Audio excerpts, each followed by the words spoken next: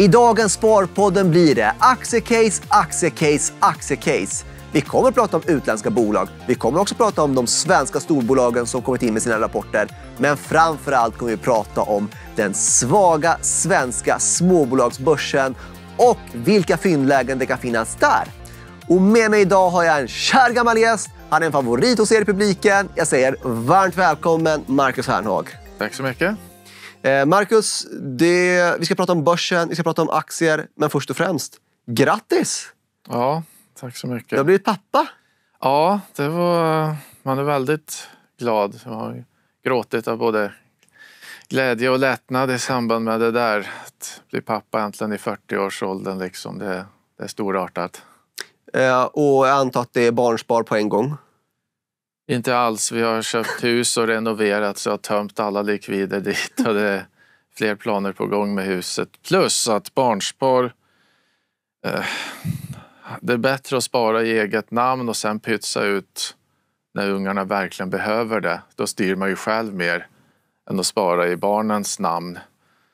För då får de allt när de är 18 och då vet man ju inte lika säkert hur redo de är och så vidare. Så att jag vet inte om det blir särskilt mycket barnspar ens de kommande åren men lite ska de ju ha eget förstås. Men, ja. Men du sparar eh, för familjen då? ja, jag försöker få överskott sådär och fortsätta bygga på vårt, våra guldägg liksom. vårda dem. Vi har ju haft en, eh, man vill ju, nu pratar vi om så här, man vill ju över tid få värdeökning och så vidare. Just i år eh, upplever jag att det varit lite skakigt på börsen.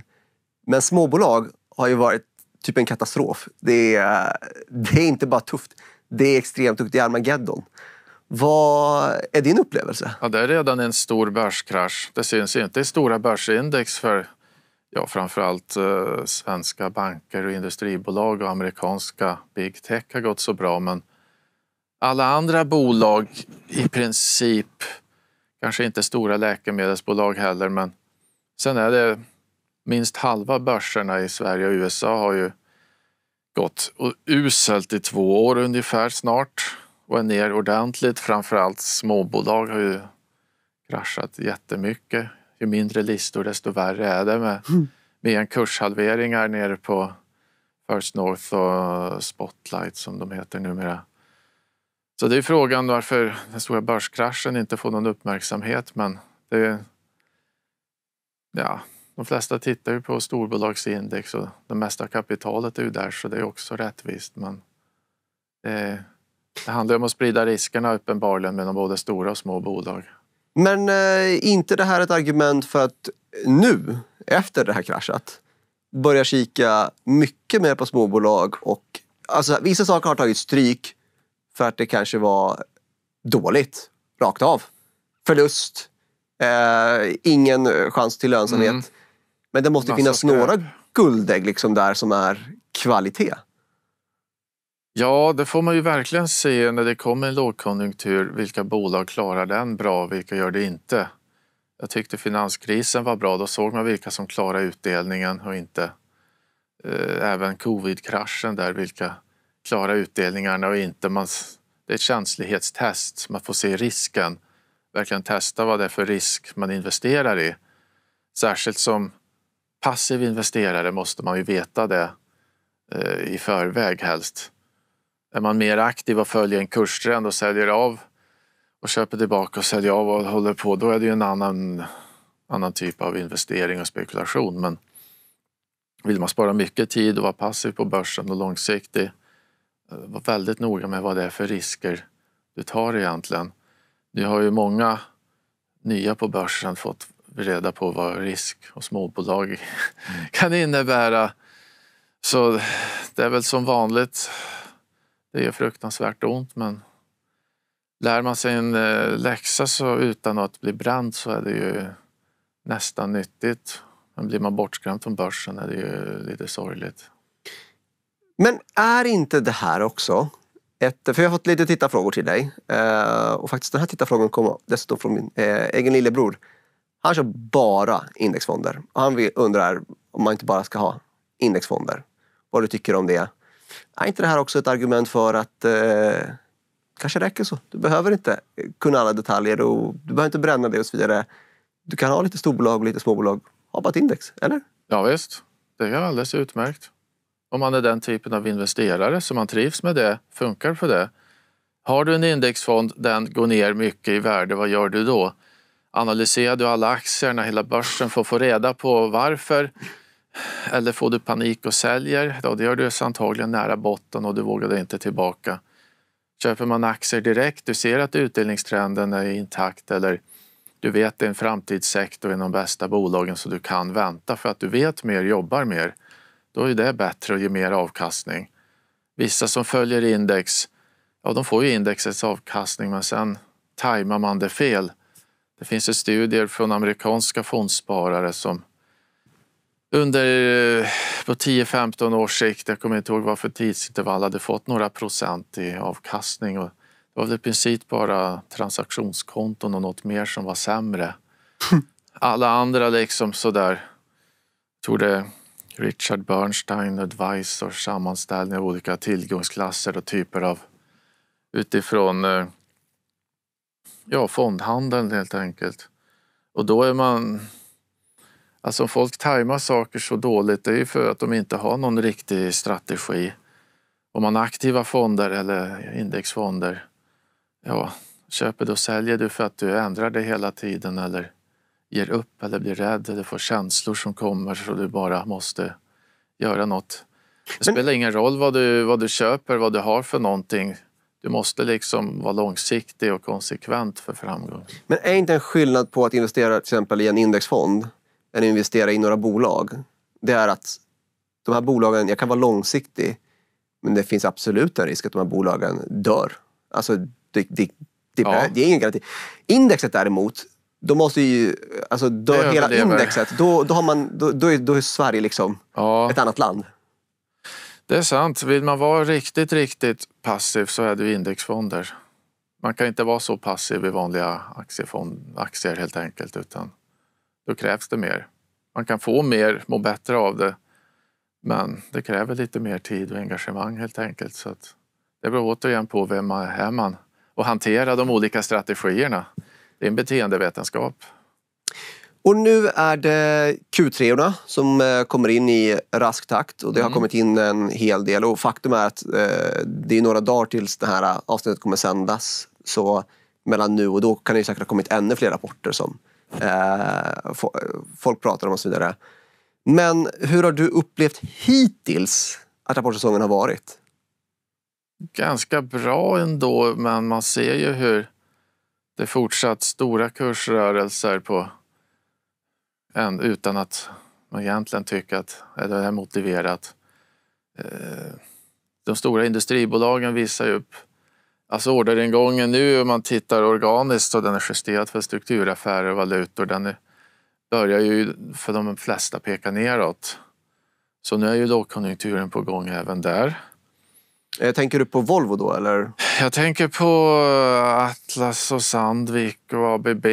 Tittar man organiskt, det är väl runt nollan eller svagt neråt lite sådär allmänt. Alfa Laval växte fortfarande. Eh, Volvo lastvagnar, absolut. Men de jagar lite mer lönsamheten och tar alla affärer de kan också.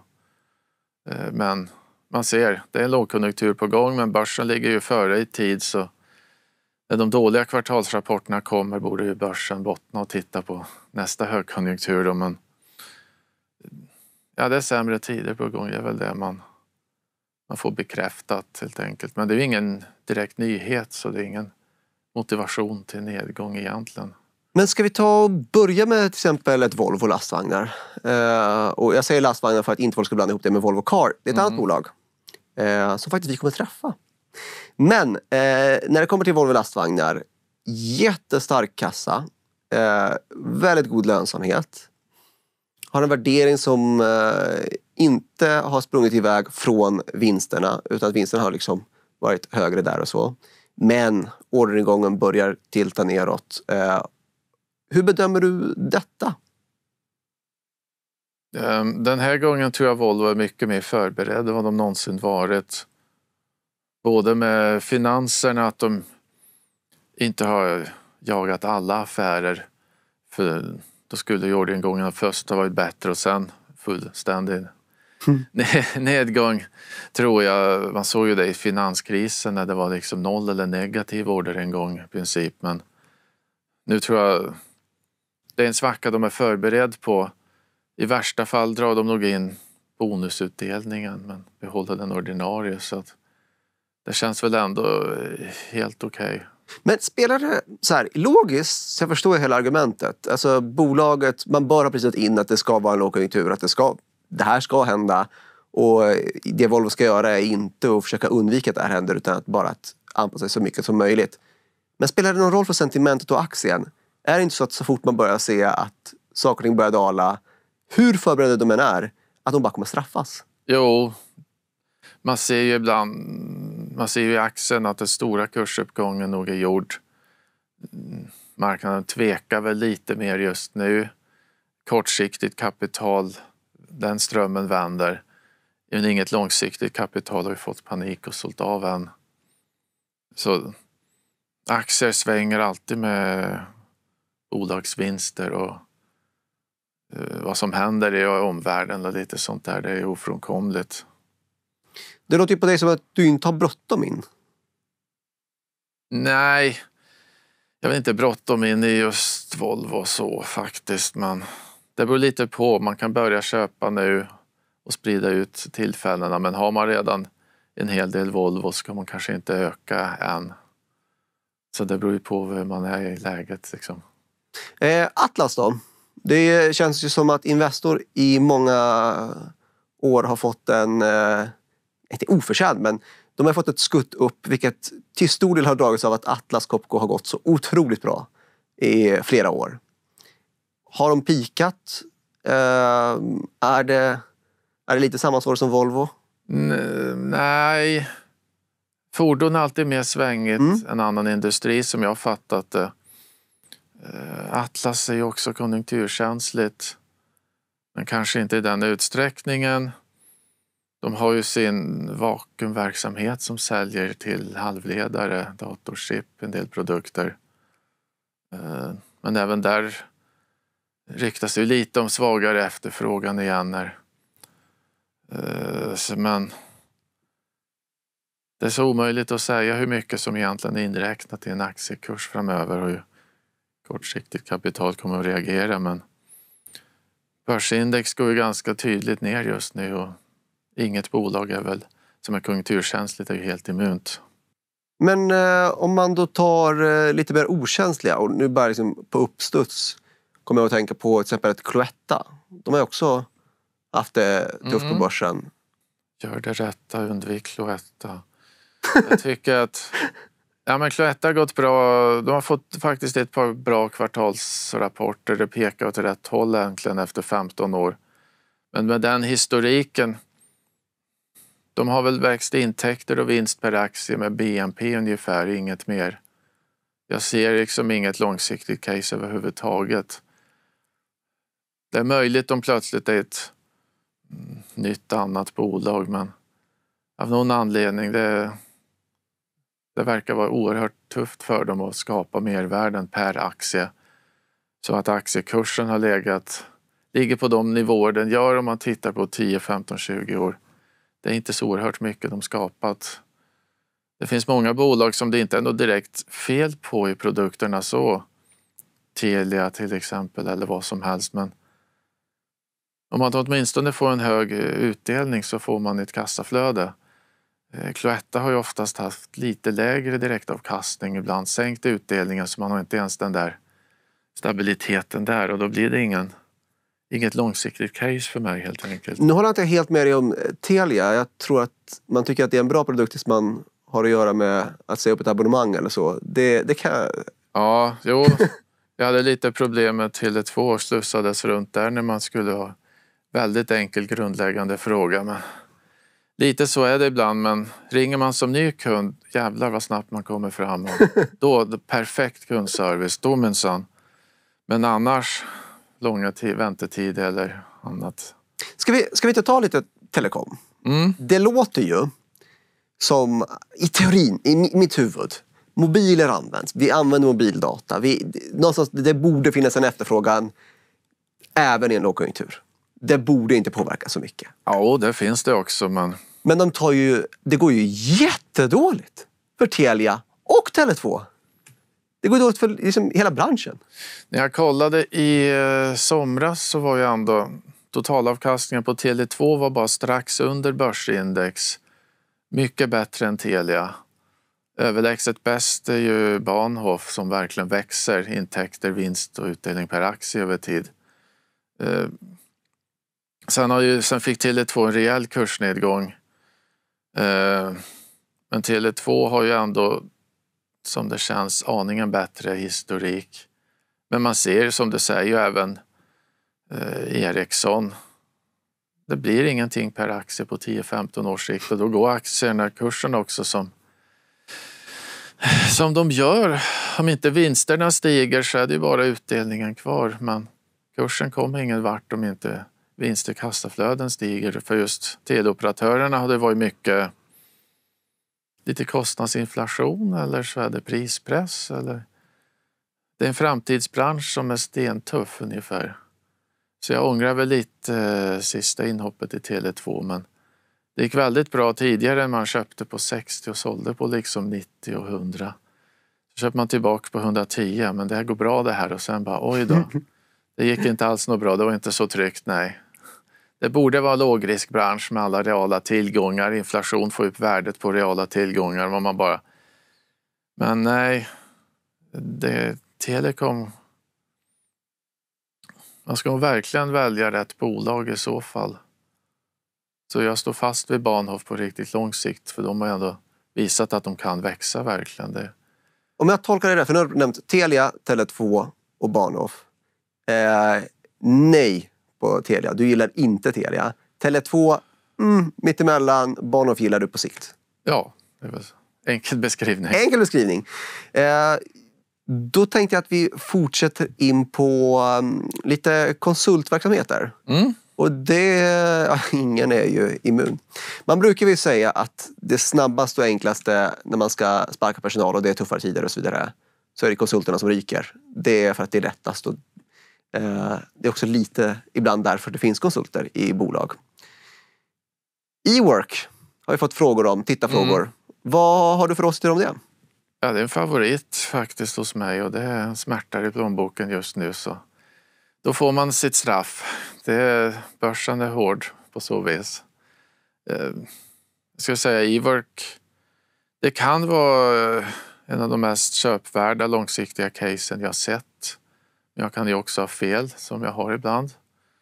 Men det direktavkastningen är så mycket högre än det historiska.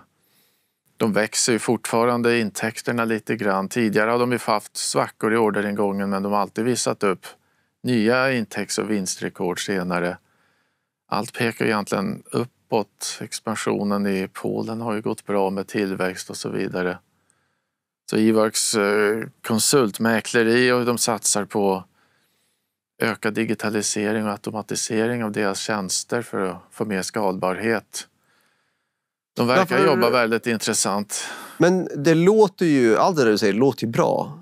Men den har väl straffats av någon anledning? Ja, rädsla för att konsulterna ska kastas ut och det ska bli en stor vinstsvacka. Är inte den reell? Hittills har jag inte sett så mycket så, även om orderingången vek en del, men den brukar pendla en del också. Eh, bolagets egna målsättningar är ändå fortfarande ganska positiva. Eh, når de sina långsiktiga mål så är ja, ingen på marknaden tror de helt enkelt. Så det är egentligen Ja, vi får se vem som får rätt. Men eh, jag sitter väldigt tryggt och långsiktigt med de, det innehav jag har och funderar på att öka. Men fallande trend, då ska man ju inte ha bråttom att köpa för allt man kan utan man får ju liksom inse att marknaden kan ha rätt eller så fortsätter marknaden i samma riktning väldigt länge i alla fall så att man får ta det lugnt i nedgångar som är lite längre så här. Men finns det någonting du känner så här, äh, det här inte bara ser bra ut långsiktigt Men det här bolaget har ju ett sentiment som går mot strömmen. Finns det något sånt nu? Inom konsulter? eller Inom för- allt? Finns sådana aktier kvar? Jag tycker ju att Axfood står sig bra. AstraZeneca också. Så det är väl de som inte alls är konjunkturkänsliga Men direkt. om jag tar till exempel AstraZeneca. Alltså, Jag har ju pratat med hur många finansprofiler, analytiker. Alltså det, det är knappt någon som förstår bolaget. Det, är- det är ju så mycket. Så här, det finns en core EPS. Det är liksom vinst per aktie i kärnverksamheten. Men så är det alltid engångskostnader som i princip vid det här laget borde vara en del av kärnverksamheten. Och jättestor spridd pipeline och intäkter som kommer från alla olika håll. Förstår man bolaget? Är det typ ett läkemedelsindex, AstraZeneca? Ja, så det man kan säga är ju att vinsten per aktie verkligen har gått, gick bra under några år nu på slutet. Forskningen lönar sig. Då stiger aktien för då stiger det. Däremot varför det under hela 2010-talet eh, tror jag fanns de där, som du säger, en core EPS och så allt. Ja men allt ingår ju i ett bolag, man får ändå exponering mot allt. Det är liksom Nej, vi bara struntar i vissa projekt där och så kör vi kärnverksamheten per aktie. Men tydligen marknaden tittar på det. Men sen, eh, men vad finns där då? Alla olika forskningsprojekt och marknader och läkemedel och produkter. Nej, man får göra det enkelt för sig. Växer intäkter och vinst per aktie eller inte? Och så, så länge det växer så borde bolagets kurs gå bra också. Liksom. Men, Å andra sidan, det är väl val snart i USA igen. Brukar inte alltid innan valet brukar sägas att så här, alla läkemedelsbolag för att det är så stor Mm. exponering mot USA eh, brukar få ett dåligt sentiment för att man, alla politiker ska dra lite popularitetsröster och säga att vi ska dra ner kostnaderna på läkemedel, vi ska stoppa övervinster och sånt där. Och det brukar... Det känns som att det alltid brukar vara så. Ja, det kan vara så nu också, vem vet. Men det brukar inte vara några jätteras heller. Det brukar aldrig materialiseras upplever jag. Att det blir Nej, så. det är mycket hot och så kommer det 90 nya lagar och regler. Redan under Barack Obamas tid efter finanskrisen skulle de göra lite saker men det blev ju både bättre och sämre för Big Pharma. Jag vet inte riktigt. Det är så komplext så tittar man på redovisning per aktie och kursen och tänk enkelt bara. Jag blir inte klok på detaljer och gräva ner sig i saker. Det, Djävulen bor i detaljerna, det är sant, men det är för svårt att hitta och oftast kanske inte finns någon, ja inom citationstecken, djävul att hitta ens. Så man har grävt och grävt och grävt i flera timmar och så bara, nej, jag hittar inget särskilt. Det nej, tänka enkelt, man kommer ganska långt med det också. Kära Sparpodden tittare, lyssnare. Jag vet att många av er redan är kunder hos oss på Nordnet. Det är jättebra. Men ni som ännu inte har blivit det, nu är det dags att bli det. Vi har nämligen gjort så att alla nya kunder med 50 000 eller mindre i sparkapital hos oss får gratis courtage på Stockholmsbörsen, max 500 affärer per år. Och sen får man tillbaka alla fondavgifter. Yes! Alla fondavgifter. Men varför ska man välja Nordnet förutom det här erbjudandet? Det finns mängder av anledningar. Till exempel har vi ett enormt utbud av värdepapper man kan investera i.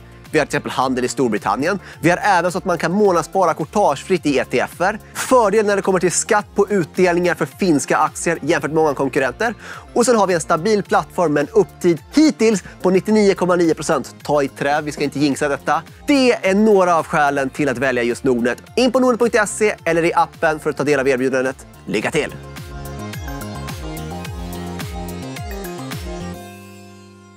Jag tycker vi fortsätter på Sverigespåret. Eh, Nu har jag guidat in i lite olika bolag att prata om. Men om du fick lyfta småbolag du tycker är intressanta nu.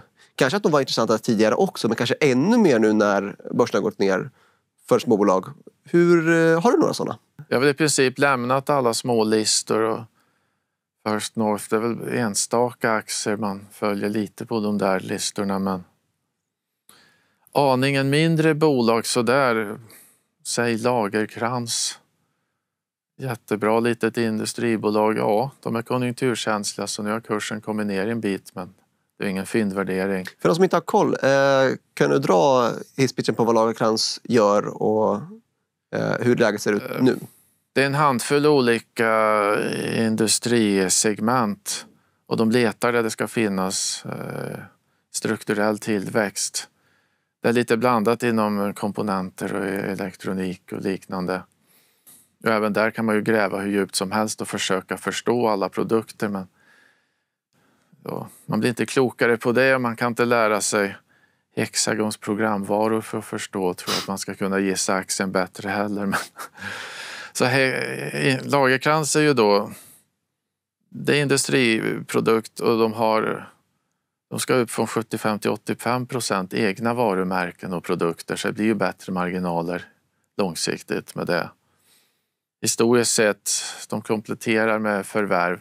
Det är en av de här avknoppade bolagen från, eh, det hette väl Bergman och Beving som blev Adtech och Lagerkrans och så har de liksom bara knoppat av och knoppat av. Eh, Beijerbolagen och Bergmanbolagen, det är en väldig avknoppningsdjungel där vi inte ska gå in på. I. Utan eh, när Lagerkrans sänker nästan aldrig utdelningen utan höjer den tydligt på sikt, låg utdelningsandel. Tror mer på tillväxt och utdelning så skulle kursen gå ner länge och djupt så är det definitivt ett långsiktigt bra läge. Men timing är inte riktigt min starka sida och nu är kursen tydligt ner så då ska man ju inte köpa så hårt direkt liksom. Nej, eh, och förutom Lagerkrans, har du något mer?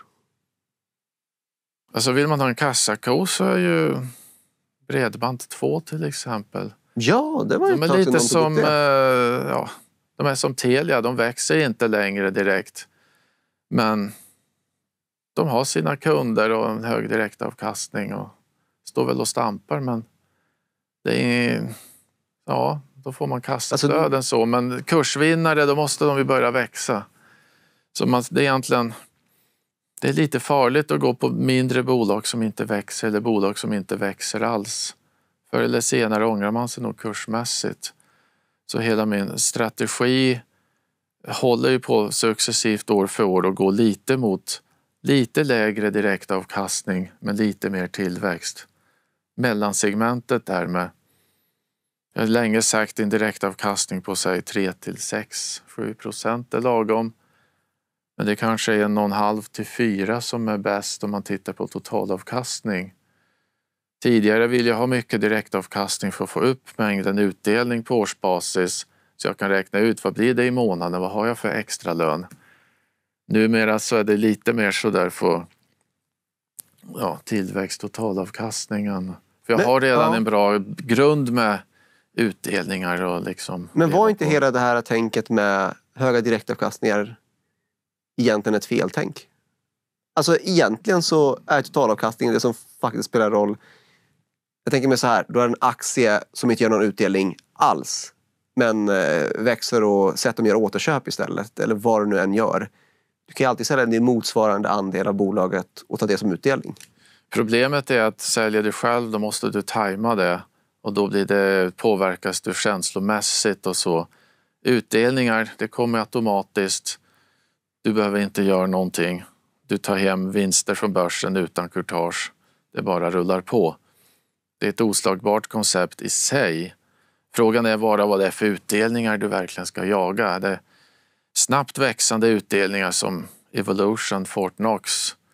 Ja, men du får inte mycket direktavkastning alls och du måste bevaka det där noga för med så hög värdering till hackar tillväxten är ju nedsidan jättestor. Mycket större än någonsin varit i Telia och Tele2 med höga direktavkastning och stabilare låg värdering. Så det är inte givet man ska jaga lägst direktavkastning men heller inte den högsta. Eh, återigen, vi är som placerare? Man kan ju ha olika segment i en portfölj. Man kan också dela upp det, ett ISK för lite mer tillväxt och ett för mer kassakor. Och så har man dem i olika syften. Få ut utdelningar, leva på, jämföra totalavkastning. Vad har man mest huvudvärk av och när?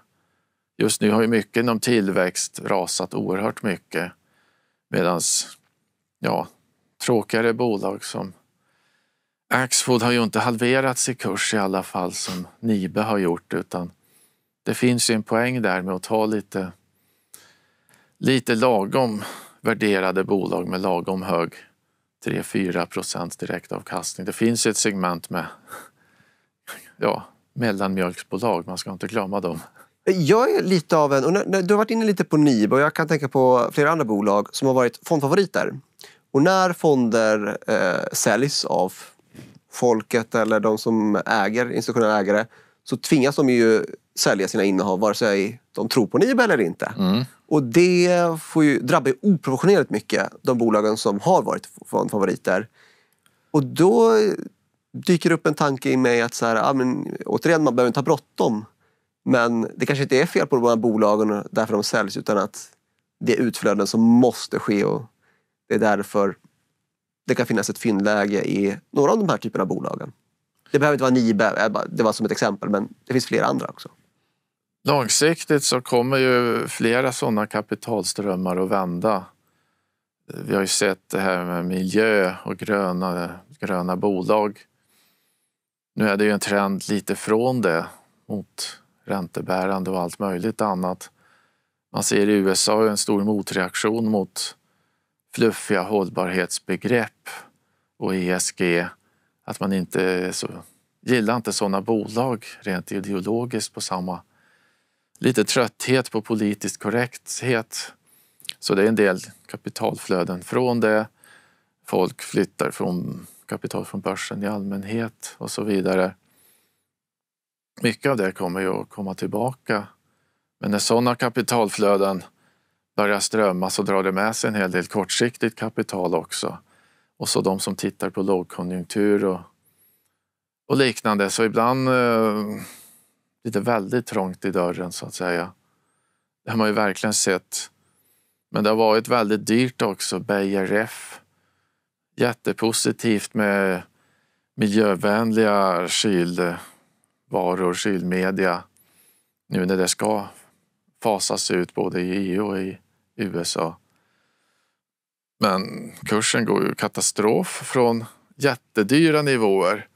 Nibe jättedyra aktier. Det var ju ja, en börsbubbla i princip som spruckit men det kommer att vända den här gången också. Det kommer att bli ett jättebra köpläge förr eller senare. Så att... Det låter som att du vill fynda i både Nibe och BRF. Mm, men du har inte bråttom? Definiera bråttom ska jag inte fråga men alltså... Jag, alltså det är inte typ now or never utan du tror att det här kan pågå ett tag till?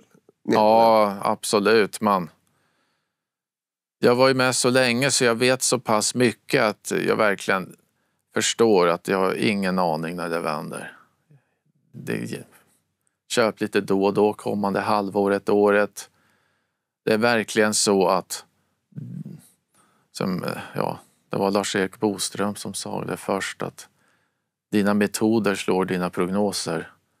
Det är ganska klockrent. Att, ja, men sprid ut köptillfällena, vänta så lång tid i bra bolag. Behåll så länge utdelningstrenden pekar upp på sikt. Efter ett visst antal år har vi en högkonjunktur och en ny, kanske till och med en börsbubbla, men då har du vinsterna där. På kort sikt fortsätter det ner 30 procent till. Vänder det idag? Jag har ingen aning.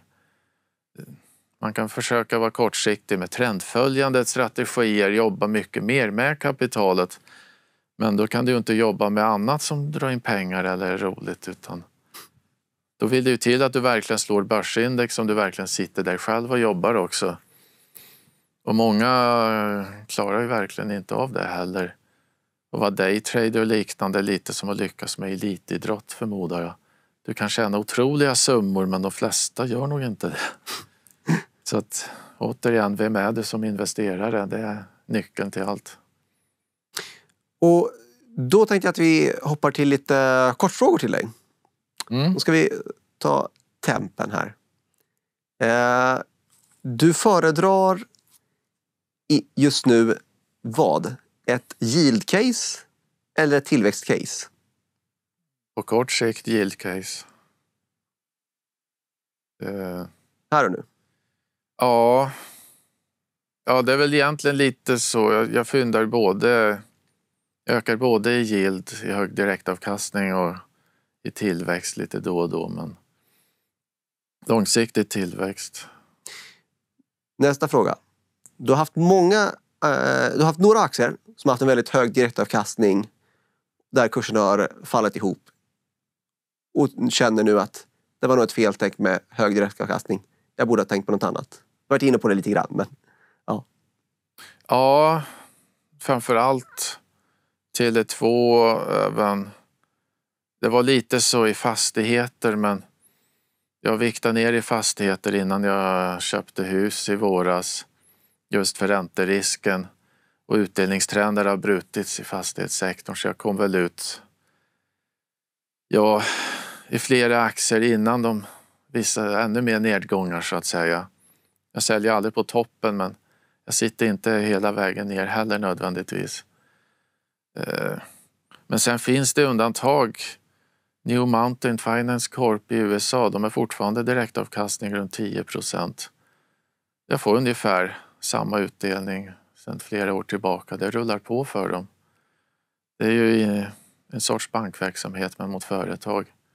Så ibland är det, hittar man de där riktigt stabila högutdelarna också som bara boostar de egna kassaflödena som jag sen kan ta hem till Sverige nu när kronan är låg mot eh, till exempel dollarn och tillväxtaktier har fallit och även ja, jag gillar ju Stora Enso, e Bahnhof. Det finns en del Axfood. Alla har ju liksom där 3 till 8-9 procents direktavkastning hur man kan då få en bra siffror så att säga. Nästa kort fråga. Du har eh, renoveringar och annat du gör just nu som tar lite kassa och känner egentligen innerst inne attans. Tänk att det här sker nu när jag faktiskt vill köpa aktier mer än någonsin. Ja, lite så är det faktiskt. Det är sant. Eh, för att efter covid-kraschen sålde jag av en del när man började komma tillbaka till plus minus noll. Så jag sålde ju där 20, 21 fram till toppen. Liksom. Men den kassan, man funderar lite olika projekt på börsen, utanför börsen och så vidare. Men jag gick ju i alla fall inte in på börsen för tidigt eller i fel bolag eller för snabbt. Så det var väl väldigt tur man leta större bostad i tid just för att undvika att vara alltför investerad i börsen. Nu har jag fått livskvalitet och en annan investering utanför istället. Mm. Sen är ju bostadsmarknaden ett kapitel för sig men jag tycker vi har ett jävligt bra läge i söderläge i bra radhusområde liksom så att det blir säkert bra på sikt med den investeringen också men det är inte det där fyndet man kan göra på börsen men ibland mm. tänker man ju fel på börsen så att man ska inte allt, hela privatekonomin i aktier nödvändigtvis. Sista eh, kortfrågan. Du har utländska innehav som har gått starkt mycket tack vare eh, dollarkursen och att svenska kronan gått svagt. Mm. Men när det är så tufft på börsen generellt så tänker du inte att det är valutan som hjälpt utan att det är en bra investering. Ja, det var en bra investering i rätt valuta för att sprida riskerna i valutan men, och inte bara i bolag. Men valuta är så komplext. Och om man tittar på bolagsbasis, nordamerikanska exportbolag missgynnas ju bara av stark dollar. Men hur stark är dollarn? Det, kan, det är egentligen mer kronan som är svag än dollarn som är stark. Så då finns det ingen sån effekt som kan vända och lyfta kurserna där borta utan är det mest kronan som är riktigt svag även mot euron och mot dollarn och allting så börja hyvla av lite osthyvelsskiva och stoppa hem med det jag gör nu efter att ha ökat i USA tidigare. Så där ligger jag väl rätt i mitt agerande. Men eh, ja, det är en liten valutaeffekt som har gynnat mig på så vis. Det är det ju ofrånkomligt men och det tackar man inte nej till just nu? Nej precis, det var, det var ändå jag som fattade besluten att köpa i USA så att det var väl...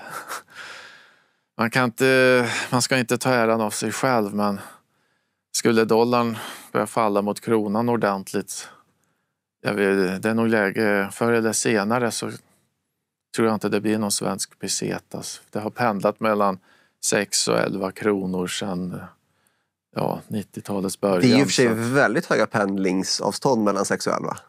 Mycket. Och jag har svårt att se att kronan skulle bli så stark igen men inte ens de bästa valutaexperter har ju full koll på varför kronan egentligen är så svag nu. De kommer med lite olika förklaringar om fastighetssektorn ska vara dålig för bankerna, någon krasch kanske kommer och lite sånt där. Ja, vem vet, men ja, det var svårt att säga varför. Sverige har ändå hyggligt bra statsfinanser om man tittar på låg skuldsättning och så jämfört med BNP. Det... Men eh, det, jag tänker nu är, eh, det finns ju det här First North-indexet. Som, eh, den är, det är en börskrasch där egentligen. Mm. Eh, hade det varit storbolagsindex så hade, så hade det varit riksmedia. Så här, ja, ja. ja, ja. Men den är dessutom satt i svensk krona. Och om man, svensk krona har varit exceptionellt svag eh, ganska länge.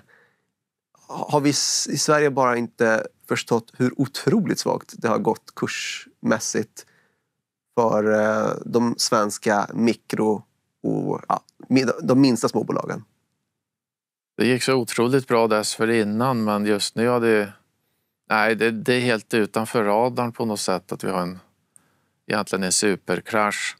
Dessutom, eh, det beror lite på hur man räknar men hade man istället köpt samma sak men i dollar då hade man ju ändå i kronor fått bättre avkastning för då hade dollarn varit med och stärkt som valuta och så kurserna samma. Nu har man en svag valuta och svaga kurser. Eh, så att det är ju storbolagen med svag krona som hjälper industribolagen väldigt mycket. Jag upplever att störst skillnad jag har sett bland samma typ av investerare är ju techinvesterare. De techinvesterare som investerar globalt och framförallt då haft typ så här, tråkiga bolag som Microsoft och annat. De har fått en oerhört mycket bättre avkastning än de som varit techinvesterare i Norden och kanske framförallt då Sverige som hamnat i ja, alla tänkbara teknikbolag vi har haft här. Visst, men det är lika i USA. Cathy Woods eh, ARK-fonder där har ju totalt kraschat med Paypal och liknande aktier har ju det är en 70-80 procents nedgångar från toppen när det var som värst. Jag har inte kollat sista månaderna men vi har sett en enorm teknik och tillväxtbolagskrasch där också. Det är just eh, ja, halvledare och de stora webbjättarna.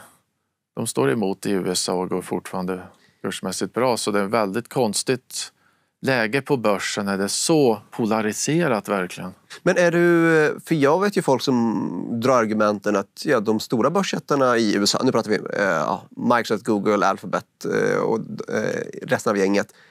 Och visst har det gått bra men de har jättestora vinster. Alltså förtjänar de inte eh, de värderingarna? Det, är det liksom säkert att det här gapet mellan de som har gått väldigt bra och dåligt ska stängas? Att... Nej, det behöver inte stängas så mycket. När det vänder i konjunktur och räntor så kommer ju uppsidan vara störst i de mest utbombade till en början. Kvalitetsbolagen där på lite längre sikt kommer att gå, mer, gå upp mer. Det är ju inte så att big tech måste falla. Man ser ju hur Alphabet rasar nu på sin rapport. Litet hack i kurvan kanske bara men jag vet inte, små sprickor i fasaden och sen går det snabbare på slutet men jag ser verkligen ingen jag vågar inte sticka ut, sticka ut skägget och säga att det blir en big tech-krasch också. Det behöver det ju inte bli.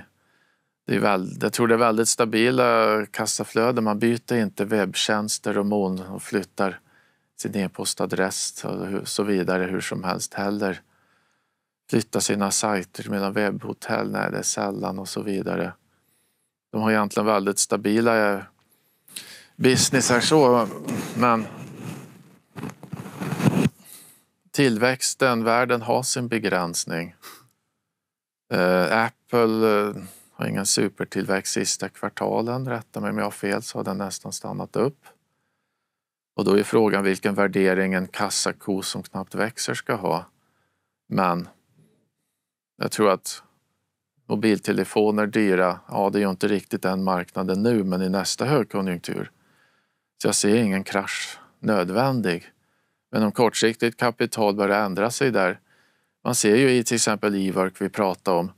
Ja men deras konsulter kommer att efterfråga svinmycket i nästa högkonjunktur. Men nej det spelar ingen roll, nu ska vi mm. bara pang ner som vanvettig nedgång. Man bara sälj, sälj. Undergången kommer liksom. Nu ska vi verkligen klappa ihop. Ja men bolaget överlever och det blir toppvinster igen sen. Spelar inte den roll? Nej. Bara kortsiktigt verkar det vara en sån där avslutande lite panikfas som kan vara dagar, veckor, månader. Men det är det också jag har tänkt på att det är jättemånga som återkommer till det. Att det är, det är så på lång sikt kommer det bli bra men på kort sikt kommer det. Och då känner jag att eh, det man egentligen säger är att eh, ja, även om det lång sikt blir bra och jag kan köpa nu och så vidare. Jag behöver inte. Eh, men den fortfarande faller. Den kan få bottna och sen gå upp igen och ha god tid på mig att värdera ja. och fundera. Fast det är så svårt att köpa. Om det plötsligt kommer en uppstuds i många små tillväxtbolag på 20-30 procent på en vecka eller två.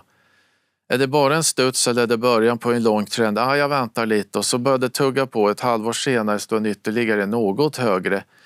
Oj, nu har det gått upp ett halvår. Nu börjar jag bli sen här och så vågar man inte göra det där stora fyndköpet. Men kan inte de här hacken upp också behöva ha kommit med till exempel någon nyhet som bekräftar att verksamheten så här, nej, vi gjorde en pangrapport, vi har en jättestor efterfrågan och orderingången ser kanon ut. Jo, då är det lite det lättare att värdera. Då är det lättare att våga köpa. Men tar man till exempel efter finanskrisen, börsen gick jättebra 2009, året då BNP var minus 5 procent och bolagsvinsterna kraschade. Då steg börsen jättemycket.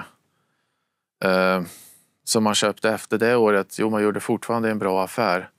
Men många tror jag inte vågade. Så man kommer tillbaks till att hitta någon metod för då och då köp just för att komma runt alla känslor, tankar som kan ställa till det om man inte verkligen är ja, riktig trader som man verkligen kan stänga bort alla känslor om man kan det. Eh, sista fråga och det här eh, får du dra lite kort eh, för tiden har runnit iväg lite. Brookfield mm. har vi haft några tittarfrågor på kanadensisk bolagsfamilj. Jag gillar... det, det finns ju flera, eller hur? Vilken Brookfield är det vi pratar om? Brookfield Corp motsvarar Investor. Brookfield Asset Management de äger ju fonder och förvaltar det där och får fondavgifter så det är lite mer åt equity. Sen har de eh, Brookfield eh, Renewables, de äger grön energi. Ja, det finns inget sånt. Det är väl Fortum utan kolkraft och utan kärnkraft och utan finska staten som ägare. Det är väl något sånt då. Bra grejer med stigande utdelning. Brookfield Infrastructure finns heller inte. De driver eh, hamnar och flygplatser och järnvägsoperatörer och äger lite skog, lite datacenter och lite alla möjliga infrastruktur. Men du äger dem för eh, att de har en bra utdelning? i första hand reala tillgångar, inflationsskyddat på sikt sådär. Det är tillgångar som inte finns i Norden helt enkelt. Oljepipelines och gaspipelines, tyvärr behöver vi ju framförallt gasen långsiktigt. Och då kan man sprida riskerna, bevara kapitalet. Man får en annan notering och redovisningsvaluta vilket just nu har varit fördelaktigt.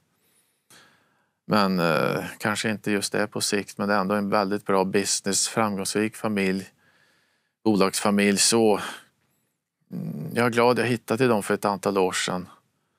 Så att eh, väl värda att titta på, men de är inte bäst på att berätta vad de egentligen äger.